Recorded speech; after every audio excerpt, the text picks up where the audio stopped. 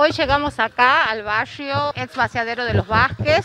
Este barrio funciona con una mesa de gestión que está comprendida por el CIPROSA, por las ONG, por algunas fundaciones también que vienen a colaborar y por la iglesia.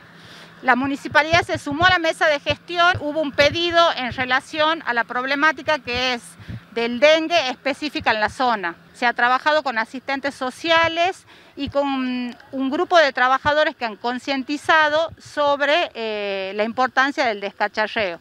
Es un barrio de varias manzanas, donde hemos hecho demalezamiento, limpieza, pasado de máquina, aplicación de productos, aplicación de productos con termonebulización y con mochilas domiciliarias, es decir, una serie de actividades operativas que tienen que ver con esta zona y fundamentalmente mejorando la calidad de vida de los vecinos, todo en el marco de la lucha contra el dengue, ¿no?